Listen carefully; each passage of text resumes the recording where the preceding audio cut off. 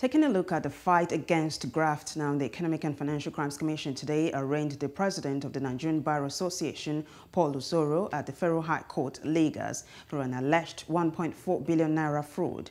Mr. Usoro pleaded not guilty to a 10-count charge of fraudulent conversion of 1.4 billion naira set to belong to Akwa Ibom state government.